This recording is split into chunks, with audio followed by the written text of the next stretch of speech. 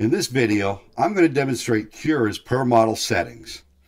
Cura's per model settings are going to allow us to have different settings for different models on the same print bed. For example, maybe we have four models on our print bed and three of those are fine with 15% infill, but the fourth one would be, would be better with 40% infill and say four walls. Cura's per, per model settings are going to allow us to do that. Or maybe you have a single model that's fine with 15% infill, except for one small area that would be better at, say, 40% infill. We can do that too. Let's stop talking about it, jump into Cura, and get to pushing plastic.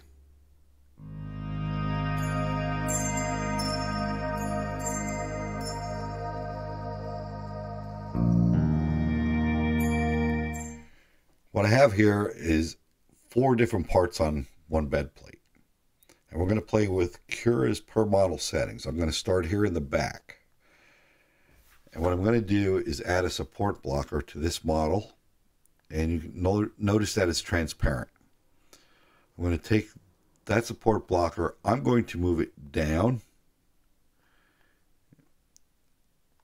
And actually, you know what? Let's, yeah, we'll leave it there. I just want to make sure it intersects with the top surface. I'm going to click on that. I'm going to go to the Cura per model settings. And the first thing I'm going to do is click the very first one, which is the normal mode or normal model. And you notice it changes color to yellow like a normal model. It's still hovering in the air. We'll slice this and take a quick look at it. And we'll scroll on down through the layers and see what's going on going on. What I'm seeing is it looks like two models that intersect each other. It has its own walls, it has its own top layers. It looks like it creates a union until you slice through it, and obviously it's two separate models. I honestly have never used that for any reason. I never saw a purpose for it. I'm sure there is one, or Cura wouldn't have made it. If anybody out there has an idea of when and why you would use that, let me know down below in the comments. I'm really curious about this. I'm going to stick with this one. We're going to leave it selected, and now I'm going to go to the per model settings, and I'm going to click the second option, which is print as support. And you'll notice the color change. So let's slice and see what happens. Preview. And what we're getting now is it's adding support to the model itself in that area. Just the one we set up uh, originally, the model itself still has supports turned off, but we just added support to one area. So if you have a model where you feel you'll need a little support, that'd be a great way to get it. I can see a great use for that. I have used it in the past a few times. I do like that one. Let's go back to prepare. The next option we have is modify settings for overlaps. I'm going to take, I'm going to leave that there. I'm going to come to this model here. So what I want to do this is a delicate little part. I want to add some strength to this little hook, for lack of a better term up here.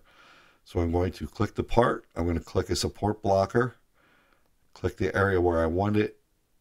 I'm going to Make sure I'm clicked on the support blocker and move that. I'm going to scale it a little bit. Turn off uniform scaling and stretch it in that direction. What I'm going to do now is go over to my per model settings. I'm going to click the one that says modify settings for overlaps.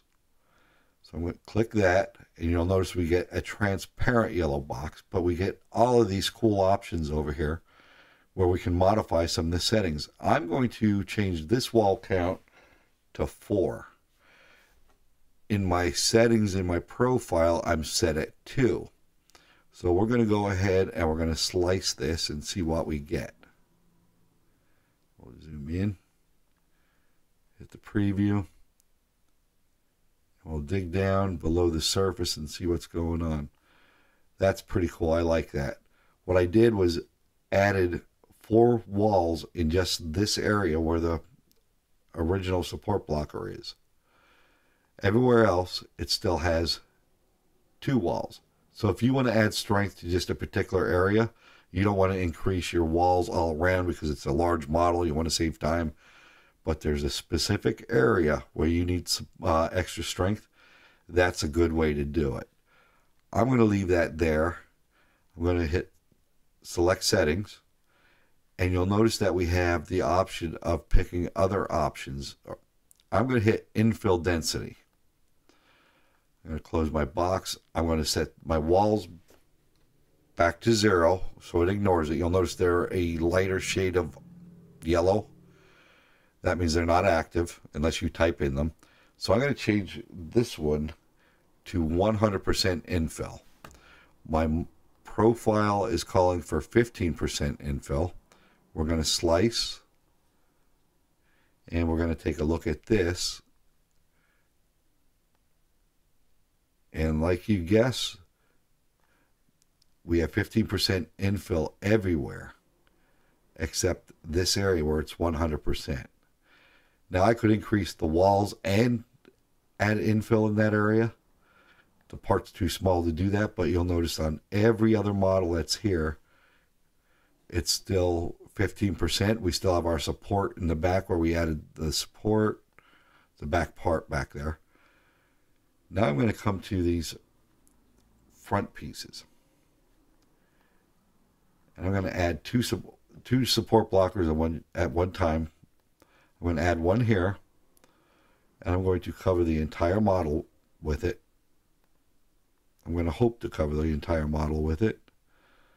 And we'll take that. I'm going to scale it. I'm going to turn my uniform scaling back on because it doesn't matter if I go over this time. That's what I want to do.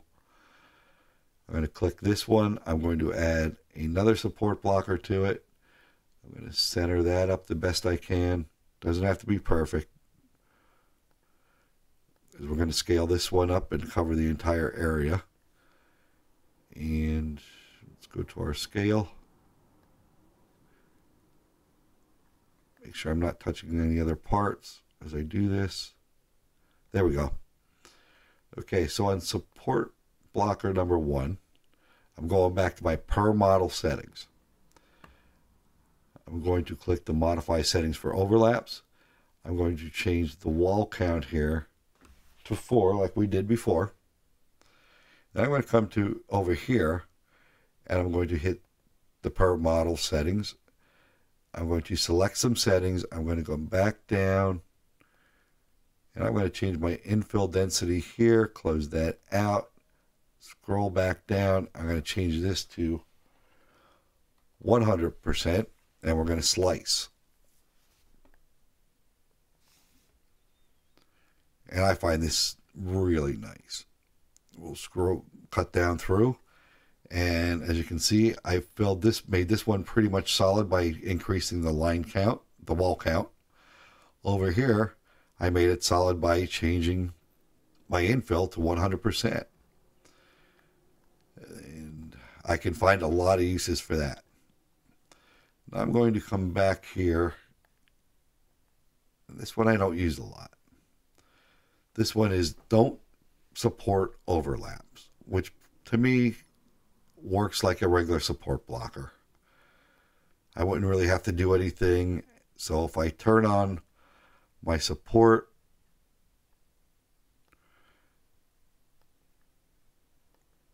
slice it, We'll preview this. I gotta put my layers back up. You'll notice that there's no support in that area. Whoops, that's why, because I hit cooling instead of support. Let's try this one more time. Support. I should get some support on the sides of it.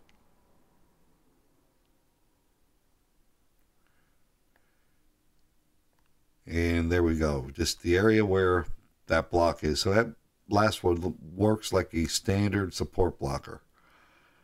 If I turn that back off, print it as support, then we'll get our support back for just that area.